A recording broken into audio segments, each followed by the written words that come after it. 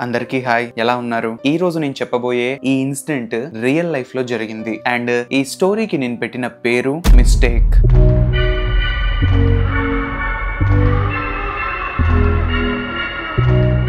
ఈ సంఘటన జెస్సికా అనే ఒక అమ్మాయి లైఫ్లో జరిగింది.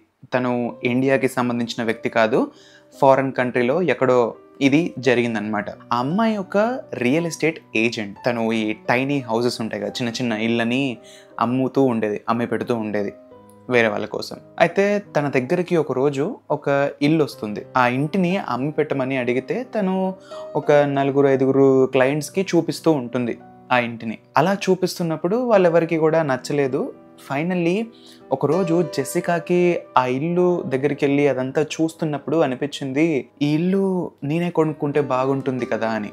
ఎందుకంటే తనకి ఆ ఇల్లు చాలా బాగా నచ్చింది అది చాలా బ్యూటిఫుల్గా అనిపించింది. ఆ ఓల్డ్ థింగ్స్ అన్నీ కూడా అంటే పాత ఇల్లు అది కానీ మంచి స్టైల్లో డిజైన్లో ఉంటుంది లోపలంతా కూడా. తనకు అది బాగా నచ్చేసేసి కొనుక్కుంది వెంటనే. కొనుక్కున్న నెక్స్ట్ డేనే వాళ్ళు ఆ ఇంట్లోకి షిఫ్ట్ అయ్యారు. యాక్చువల్లీ తన ఫ్రెండ్ సహాయంతో ఆ ఇంట్లోకి మూవ్ అయింది. తన వస్తువులన్నీ తీసుకొచ్చి లోపల పెడుతూ ఉన్నారు. తను అలా కూర్చుని ఉంది వస్తువులు ఉంటాయి కదా దాన్ని అన్నిటినీ కూడా అన్ప్యాక్ చేస్తూ ఉంది ఆ వస్తువులని. తన ఫ్రెండ్ బయటికి వెళ్ళి మిగతా సామాన్లను తీసుకొస్తున్న టైంలో జెసికాకి ఆ ఇంట్లో ఎవరో బాబు ఒక చిన్న బాబు ఏడుస్తున్నట్టుగా సౌండ్ వినిపించింది. అది వింటా వింటా వింటా ఇలా ముందుకు నడుచుకుంటూ వెళ్తూ వెళ్తూ ఉంది.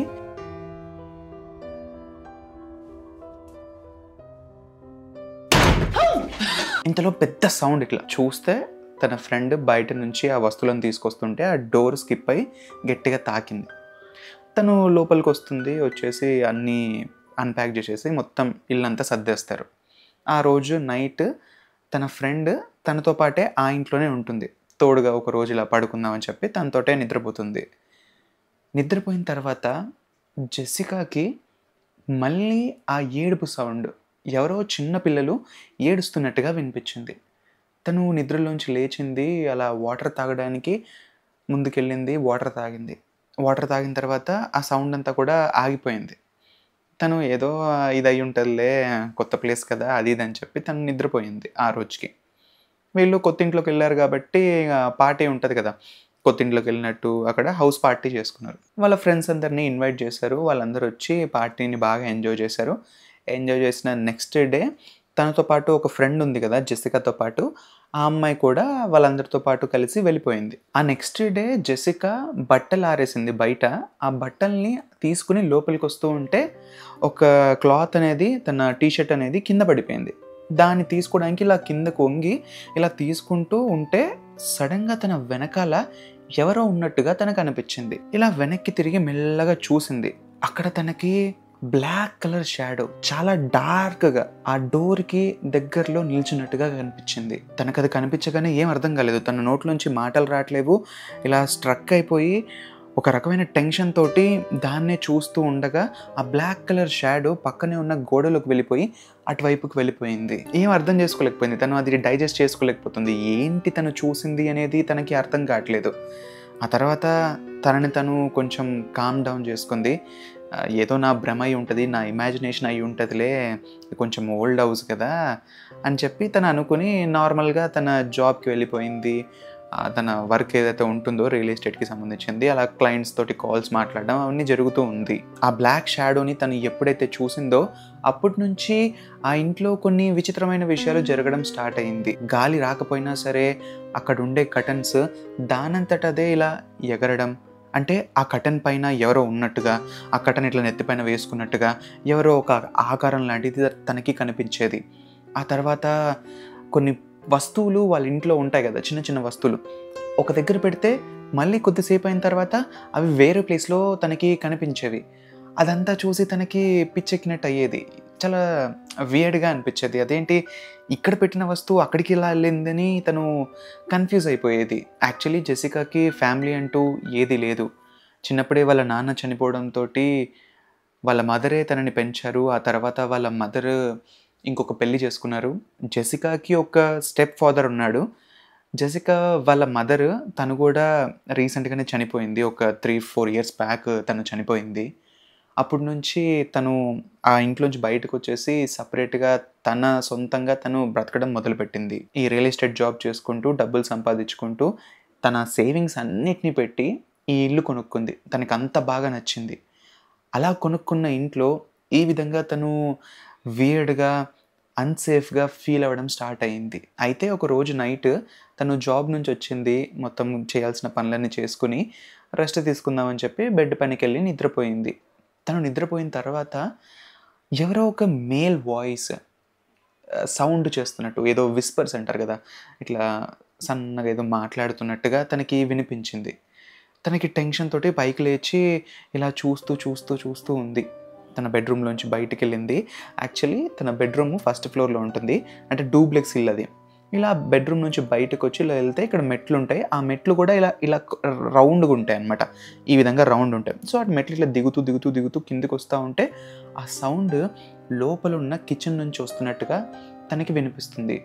ఆ కిచెన్ దగ్గరికి స్లోగా భయపడుతూ భయపడుతూ భయపడుతూ నడుచుకుంటూ వెళ్ళి చూస్తే ఆ ట్యాప్ ఏదైతే ఉంటుందో వాళ్ళది ఆ ట్యాప్లోంచి ఆ వాటర్ పడుతున్న సౌండ్ వల్ల ఆ మేల్ వాయిస్ లాగా తనకి వినిపించింది. అబ్బా దీనికైనా నేను ఇంత భయపడింది అని అలా అనుకుంటూ వెనక్కి తిరిగి వెళ్తూ ఉంటే ఆ హాల్లో ఎక్కడైతే ఆ మెట్టిట్ల పైకి ఉంటాయో అక్కడ పక్కన ఇక్కడ సోఫాస్ ఉంటాయి. ఆ సోఫాకి ముంగట ఇట్లా మ్యాట్ మ్యాట్స్ వేస్తారు కదా కొన్ని ప్లేసెస్లో. ఆ మ్యాట్ ఇలా స్లో స్లోగా స్లో స్లోగా స్లో స్లోగా మూవ్ అవుతున్నట్టు తనకు అనిపించింది. చాలా స్లోగా ఇట్లా మూవ్ అవుతుంది. ఏంటి ఇలా మూవ్ అవుతుంది మ్యాట్ అని తనకి ఏం అర్థం కాలేదు. వెళ్ళి ఆ మ్యాట్ని ఇలా పట్టుకుని లేపి చూస్తే సన్న పురుగులు ఉంటాయి చూసారా?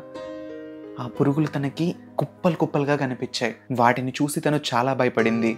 అవి అక్కడికి ఎలా వచ్చాయి అనేది తనకు అర్థం కాలేదు. ఎందుకంటే టూ డేస్ బ్యాక్ వాళ్ళు ఎప్పుడైతే ఆ ఇంట్లోకి వచ్చారో ఆ రూమ్ని ఆ ప్లేస్ని అంతా క్లీన్ చేసి వచ్చారు. కానీ సడన్గా ఇంట్లోకి ఈ పురుగులు ఎక్కడి నుంచి వచ్చాయో తనకు అర్థం కాలేదు. సరే అని మళ్ళీ తను ఆ ప్లేస్ అంతా క్లీన్ చేసి ఆ పురుగుల్ని బయటికి తీసుకెళ్ళి కాల్ చేసింది. ఇక ఆ రోజు నుంచి తనకి ఆ ఇంట్లో చాలా స్ట్రేంజ్గా అనిపించేది. చాలా విచిత్రమైన విచిత్రమైన విషయాలు తనకి ఫీల్ అవుతూ వచ్చేది. ఎవరో తనని చూస్తున్నట్టుగా ఎవరో అబ్జర్వ్ చేస్తున్నట్టుగా తన పక్కనే నిల్చున్నట్టుగా అలా అనిపిస్తూ ఉండేది. అయితే ఒక రోజు నైట్ ఈ ఫ్రెండ్స్ అందరూ ఒక దగ్గర నిద్రపోదామని అనుకున్నారు. నైట్ అవుట్ ఇట్లా చేస్తారు కదా ఆ టైప్లో వాళ్ళందరూ కూర్చున్నారు తాగుతూ ఉన్నారు. జెసికా లోపలికి వెళ్ళి కావాల్సినవన్నీ కూడా ప్రిపేర్ చేసి తీసుకొచ్చింది. మాట్లాడుకుంటూ మాట్లాడుకుంటూ ఉన్నారు. ఇంతలో కిచెన్లోంచి ఏదో సౌండ్ వస్తే జెసికాతో పాటు తన ఫ్రెండ్ కూడా కిచెన్లోకి వెళ్ళింది. వెళ్ళి చూసేసరికల్లా ఆ కిచెన్ డోర్ ఎక్కడైతే ఉంటుందో ఆ డోర్ దగ్గర మొత్తం బ్లడ్.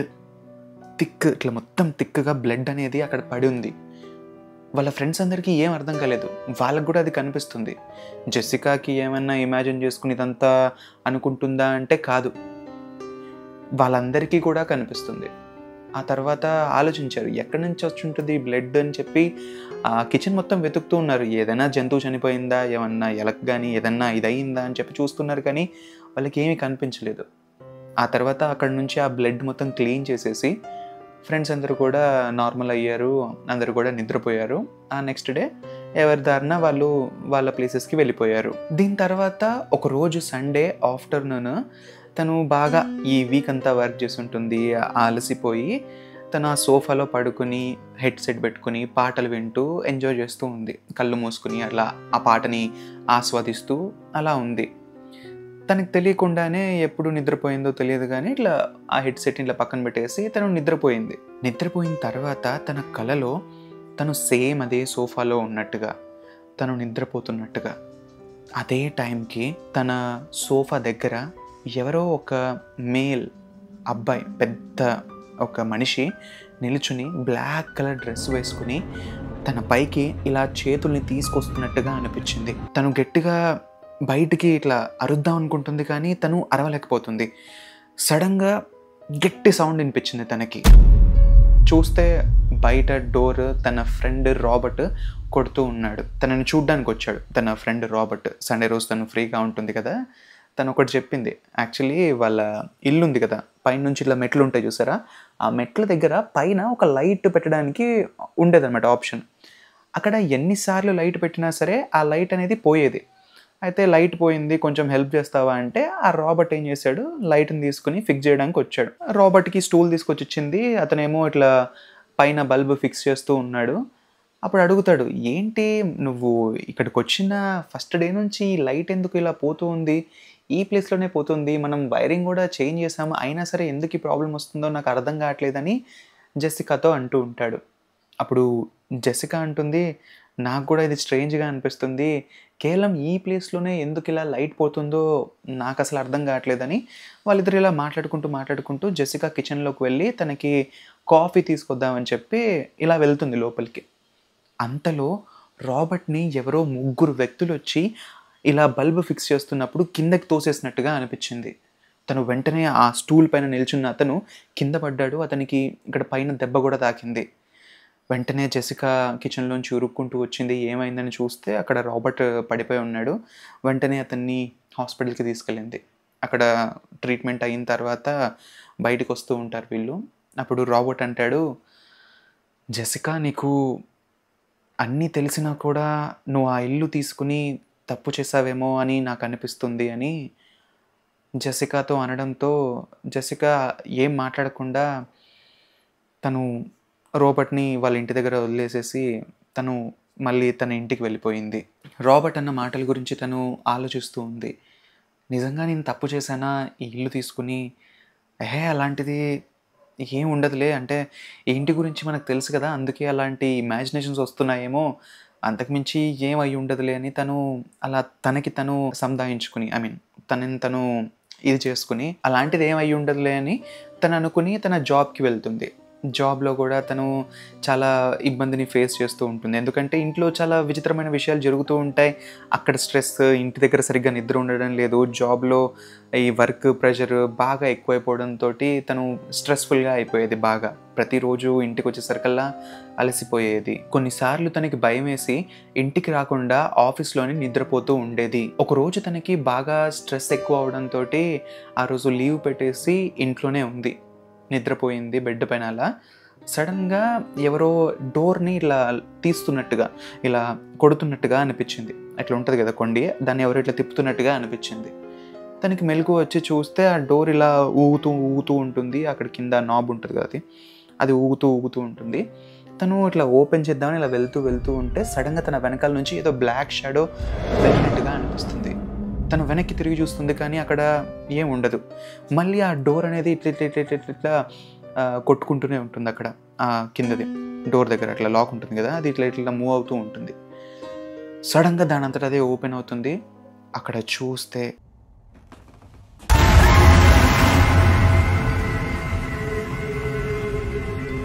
ఒక బ్లాక్ గౌన్ వేసుకుని లేడీ మొత్తం స్కిన్ వచ్చేసి మొత్తం పేల్ అయిపోయి ఉంటుంది. వైట్ కలర్ ఒక బ్యాండ్ కట్టుకుని తన కళ్ళు మొత్తం కవర్ అయిపోయినట్టుగా ఉండే ఒక బ్యాండ్ కట్టుకుని ఫైవ్ సెకండ్స్ పాటు జెసికాకి ఆ లేడీ కనిపించింది.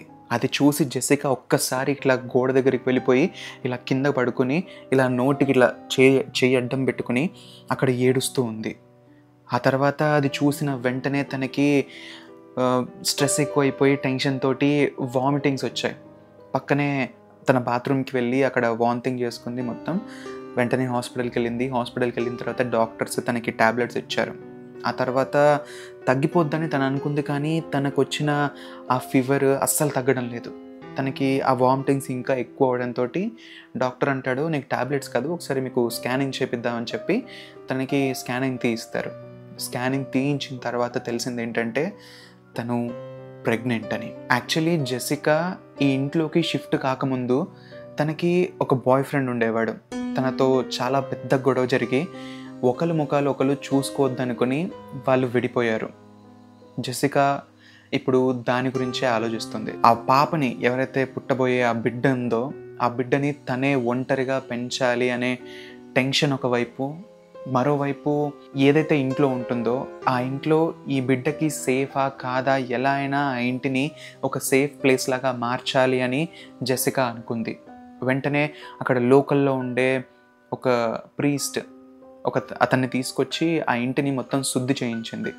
మొత్తం అన్ని ప్లేసెస్ తిరిగి అతను ఇలా చల్లుకుంటూ నీళ్ళని మొత్తం ప్లేస్ అంతా కూడా క్లీన్ చేశాడు.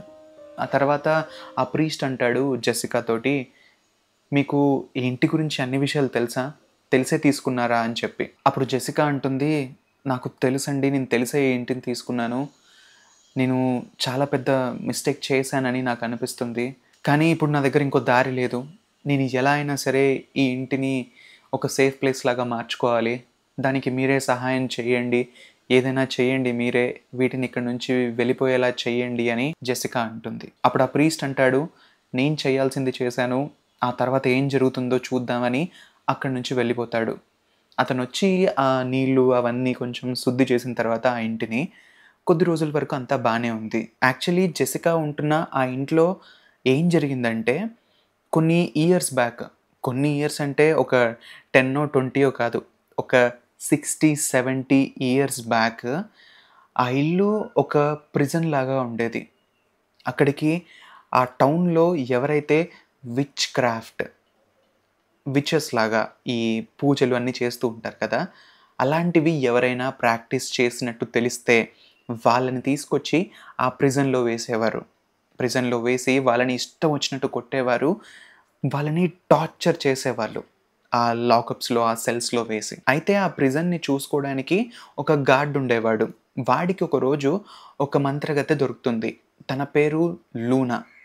అయితే తను ఆ ఊర్లో ఒక నర్స్ అన్నమాట. ఈ చిన్న పిల్లలు పుట్టిన పిల్లలు ఉంటారు కదా వాళ్ళని చూసుకునే ఒక నర్స్. అయితే అప్పుడే పుట్టిన ఒక బాబు పైన తను ఈ విచ్ క్రాఫ్ట్ ప్రాక్టీస్ చేస్తుంది. ఆ బాబుని ఏదో చేసిందని చెప్పి తనని తీసుకొచ్చి ఆ గార్డ్ ఈ జైల్లో వేస్తాడు. వేసిన తర్వాత తనని ఇష్టం వచ్చినట్టు కొడతాడు. కొద్ది రోజుల తర్వాత ఆ విచ్తో పాటు ఇంకో ముగ్గురిని అదే ప్లేస్లో ఉరితీస్తారు ఆ ముగ్గురునే కాదు ఇంతకుముందు చాలామంది విచెస్ని ఆ ఇంట్లో ఆ ప్రిజన్లో చంపేశారు. కొద్ది రోజుల తర్వాత ఈ ఎవరైతే ఆ లూనా ఉందో ఆ లూనాని చంపేసిన తర్వాత ఈ గార్డ్ ఒక రోజు నైట్ అతనంతట అతనే చనిపోయాడు సూసైడ్ చేసుకుని. ఎవరికి ఏం అర్థం కాలేదు ఎందుకు అతను సూసైడ్ చేసుకుని చనిపోయాడా అనేది ఎవరికి తెలియలేదు. ఎందుకంటే అతను చాలా స్ట్రాంగ్ పర్సన్ ఎవరు ఊహించలేదు కూడా తను సూసైడ్ చేసుకుంటాడని. అతను చనిపోయిన తర్వాత కొన్ని సంవత్సరాల తర్వాత ఈ ప్రిజన్ని కొద్ది కొద్దిగా ఇంటిలాగా మారుస్తూ మారుస్తూ వచ్చారు. ఆ ఇంటిని చాలామంది కొనుక్కున్నారు విడిచి వెళ్ళిపోయారు. అయితే జెసికా ఈ ఇంటిని కొనుక్కునే ముందు దీన్ని వేరే వాళ్ళు ఎవరైతే కొనుక్కున్నారో వాళ్ళు ఇద్దరు ఓనర్స్ కూడా సూసైడ్ చేసుకుని అదే ఇంట్లో చనిపోయారు. వాళ్ళు ఎందుకు చనిపోయారో కారణాలు మాత్రం ఎవ్వరికీ తెలియదు. అక్కడ చాలామంది గాసిప్స్ చేసుకుంటూ ఉంటారు చుట్టుపక్కల వాళ్ళు. నైట్ టైంలో ఆ విచ్చెస్ వచ్చి వీళ్ళ చెవుల దగ్గర ఏవో మాట్లాడతాయని అక్కడ ఒక బ్యాడ్ ఎనర్జీ ఉందని అది కరెక్ట్ ప్లేస్ కాదని ఎంత ఇలాంటి గాసిప్స్ అన్నీ విన్నా కూడా జెసికా వాటిని ఏ వాటిని పట్టించుకోకుండా ఆ ఇంటిని కొనుక్కుంది. ఎందుకంటే జెసికా ఆ ఇంట్లోకి వెళ్ళినప్పుడు ఆ ఇల్లే తనతో మాట్లాడినట్టుగా అనిపించింది.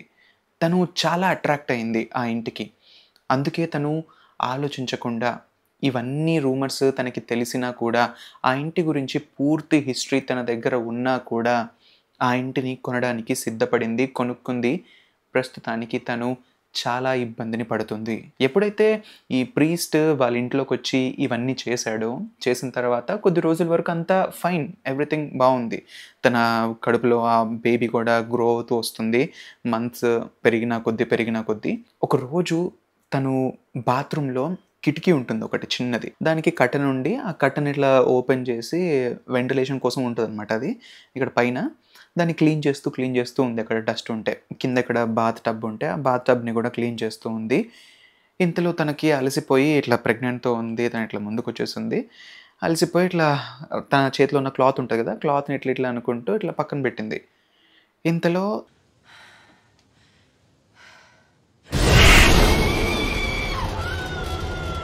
తనని వెనకాల నుంచి తన కడుపుని ఇలా ఎవరో పట్టుకుని లాక్కుని బాత్రూమ్ నుంచి బయటికి తీసుకెళ్ళారు. చూస్తే తను ఇలా కింద పడిపోయి ఉంది. తన తల ఇలా పైకి పెట్టుకుని ఉంటే ఒక మేల్ పర్సన్ ఒక ముసలాయన తనని చూస్తూ కనిపించాడు. వెంటనే జెసికా గట్టిగా అరుచుకుంటూ ఆ ఇంట్లోంచి బయటకు వచ్చింది జెసికా వాళ్ళ స్టెప్ డాడ్ ఇంకా బతికే ఉన్నాడు. అంటే తనని పెంచిన తండ్రి. వాళ్ళ మదర్ రెండో పెళ్ళి చేసుకుంది కదా? అతని దగ్గరికి వెంటనే వెళ్ళింది. జరిగిందంతా చెప్పింది. అతను ఇదంతా విన్న తర్వాత నేను ఇలాంటివి నమ్మనని నీకు తెలుసు కదా జెసికా అదంతా కూడా నీ ఇమాజినేషన్ అయి ఉంటుంది. ప్రెగ్నెంట్తో ఉన్నావు కదా అప్పుడప్పుడు ఇలాంటివి జరుగుతూ ఉంటాయిలే. నువ్వు ఏదో ఇమాజిన్ చేసుకుని ఉంటావు నువ్వు. కొంచెం నువ్వు అదంతా ఏమి ఉండదులే నువ్వు కంగారు పడకని చెప్పి తనతో అంటాడు. జెసికా ఆ తర్వాత అతనితోటి ఒక టూ టూ త్రీ డేస్ వరకు ఉంటుంది. మళ్ళీ అక్కడ నుంచి తన నార్మల్ ప్లేస్కి బయలుదేరుతుంది. జెసికా ఇక్కడికి వచ్చిన తర్వాత తన ఫ్రెండ్స్ని కాంటాక్ట్ అవుతూ ఉండేది ఇంటికి రమ్మని పిలుస్తూ ఉండేది. తన ఇంట్లో జరుగుతున్న విషయాలని తన ఫ్రెండ్స్తో షేర్ చేసుకోవడం మొదలుపెట్టినప్పటి నుంచి తన ఇంటికి ఫ్రెండ్స్ రావడం కూడా మానేశారు. అంతేకాకుండా రాబర్ట్కి ఆ దెబ్బ తాకిన తర్వాత అతను కూడా తన ఫ్రెండ్స్ అందరికీ చెప్పాడు. అప్పటి నుంచి ఎవరు కూడా జెసికా వాళ్ళ ఇంటికి రావడానికి ఇష్టపడే వాళ్ళు కాదు. జెసికా ఒక్కతే అలా ప్రెగ్నెంట్తో ఉంటూ తన పనులు తను చేసుకుంటూ మరోవైపు ఆఫీస్కి వెళ్ళి అక్కడ తనే ఆ జాబ్ హ్యాండిల్ చేసుకుంటూ అక్కడ ప్రెషర్ తనకి అస్సలు ప్రశాంతంగా ఉండేది కాదు. అయితే మళ్ళీ జెసికా ఆ ప్రీస్ట్ని పిలిచి ఇల్లుని మళ్ళీ శుద్ధి చేయించింది. కొద్ది రోజుల వరకు మళ్ళీ అంతా బాగానే ఉంది. ఆ ప్రీస్ట్ అంటాడు మీరు ఈ ఇంటిని ఖాళీ చేసి వెళ్ళిపోవడం మంచిది. ఇక్కడ ఉండకండి. నేను ఇక్కడ చాలా నెగిటివ్ ఎనర్జీని ఫీల్ అవుతున్నాను. ఈ ఇల్లు చాలా పాతది. ఇక్కడ ఎంతో ఎంతో దారుణమైన మెమరీస్ ఉన్నాయి. మీరు ఇక్కడి నుంచి వెళ్ళిపోవడం మంచిదమ్మా అని చెప్పి అతను అంటాడు. కానీ జెసికాకి నాన్న వాళ్ళు ఎవరూ లేరు. తన బాయ్ ఫ్రెండ్తో గొడవ పడింది. లైఫ్లో తన ముఖాన్ని చూడద్దనుకుంది తన స్టెప్ డాడ్ అంటే తనకు అస్సలు నచ్చదు. తన ఫ్రెండ్స్ కూడా ఎవరు లైఫ్లో వాళ్ళు బిజీగా ఉన్నారు. తనకి ఏవైతే డబ్బులు ఉండేవో ఆ డబ్బులు అన్నిటిని పెట్టి ఆ సేవింగ్స్ అన్నిటిని పెట్టి ఈ ఇల్లు కొనుక్కుంది. తన దగ్గర ఒక చిన్న కారు ఆ ఇల్లు తప్ప ఇంకా ఏవీ లేవు.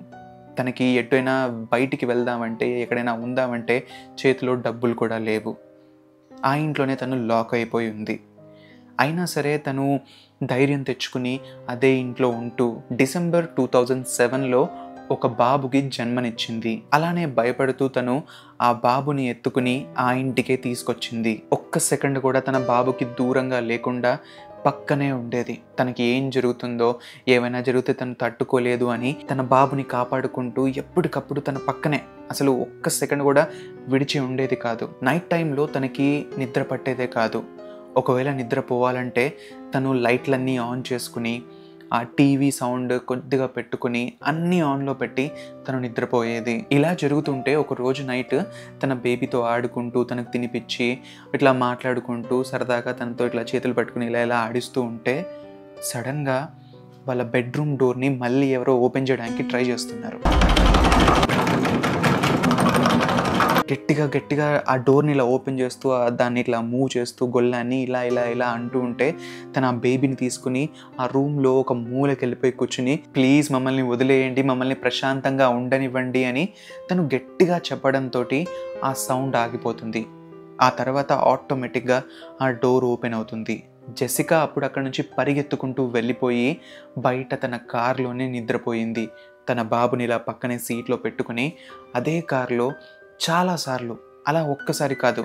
తనకి భయం వేసిన ప్రతిసారి బాబుని కార్లో తీసుకొచ్చి అలా నిద్రపోయేది. బాబుని ఇంటికి తీసుకొచ్చిన దగ్గర నుంచి ఇలాంటి ఇన్సిడెంట్స్ ఇంకా ఎక్కువ అవడం స్టార్ట్ అయ్యింది. ఒకరోజు తను బయటికి వెళ్ళి ఇంటికి వచ్చింది మార్నింగ్ టైంలోనే తన బాబుని హాల్లో ఆ సోఫా ఎక్కడైతే ఉంటుందో ఆ సోఫా పైన ఒక బాస్కెట్ పెట్టింది.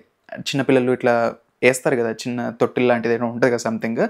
అలాంటి ఒక బాస్కెట్లో తన బాబుని ఇలా పడుకోబెట్టి కిచెన్లోకి వెళ్ళి తను కాఫీ కలుపుకుంది. కాఫీ కలుపుకొని హాల్లోకి వచ్చి చూసేసరికల్లా బాబు అక్కడ లేడు.